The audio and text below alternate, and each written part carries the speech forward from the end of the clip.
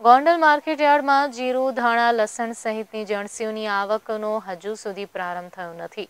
ત્યારે વારંવાર બદલાતા હવામાનને કારણે રવિ પાકની જણસીઓમાં મોટો ફટકો પડવાની ધારણા પણ યાર્ડ સત્તાધીશો કરી રહ્યા છે. ત્યારે ગોંડલ માર્કેટયાર્ડમાં ક્યારે થશે ધાણા, જીરું, લસણ સહિતની જણસીઓની આવકોએ જોવાનું રહ્યું. આ વર્ષે સૌરાષ્ટ્રના ઘણા વિસ્તારોમાં વારંવાર હવામાન બદલાવ જોવા મળ્યો છે. કમોસમી વરસાદને લઈને ખેડૂતોના રવિ પાકના ઉત્પાદનમાં પણ બદલાવ સાથે ફટકો જોવા મળ્યો છે. ત્યારે ગોંડલ માર્કેટયાર્ડમાં જીરું, ધાણા, લસણ સહિતની ઘણી જણસીઓની આવક આજ દિવસ સુધી જોવા મળી નથી. ગોંડલ માર્કેટયાર્ડમાં રવિ પાકની જણસીઓની આવકનો પ્રારંભ જાન્યુઆરી મહિનાથી થતો હોય છે. ખેડૂતોએ આગોતરા કરેલ ઘઉં, ચણા, લસણ, મરચાં, જીરું સહિતના પાકોનું ઉત્પાદન આવવાનું જાન્યુઆરી માસમાં શરૂ થતું હોય છે. તેમ છતાં ગોંડલ માર્કેટ યાર્ડમાં વર્ષે માત્ર મરચાંની આવકો જોવા મળી છે. જ્યારે નવા જીરુની આવક માત્ર એક જ વખત થતાં વેપારીઓને સુકન સાચવવાની ફરજ પડી હતી. ગત વર્ષે ગોંડલ માર્કેટ યાર્ડમાં ચણા, ધાણા, જીરું, લસણ સહિતની જણસીઓની આવકો જોવા મળતી હતી.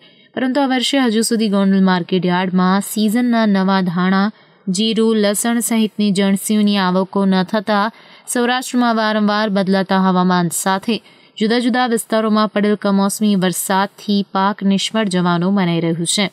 રવિ પાકની જણસીઓમાં મોટો ફટકો પડવાની ધારણા પણ યાર્ડ સત્તાધીશો કરી રહ્યા છે. ગોંડલ માર્કેટ યાર્ડની અંદર રવિ સિઝનમાં જીરું, ધાણા, લસણ તેમજ મરચાંની આવક આ સમયે શરૂ થઈ જતી હોય છે. પરંતુ આ સિઝનમાં હાલ ફક્ત જીરુના એક વકલની આવક થયેલ હતી, જે તારીખ અઢાર એક બે હજાર બાવીસના રોજ આવેલ અને રૂપિયા સાત હજાર એંસીના વીસ કિલોના ભાવે મુહૂર્તના સોદા થયેલ હતા.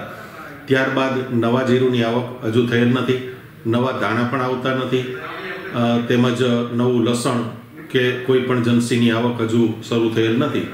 આ વખતે વિષમ હવામાનને કારણે ઉત્પાદનની અંદર ઘણો બધો ઘટાડો થયેલ છે, જેથી માલ આવક હજુ પૂરજોશમાં શરૂ થયેલ નથી. Haresh Bhaliya, live Gujarat news Jetpur.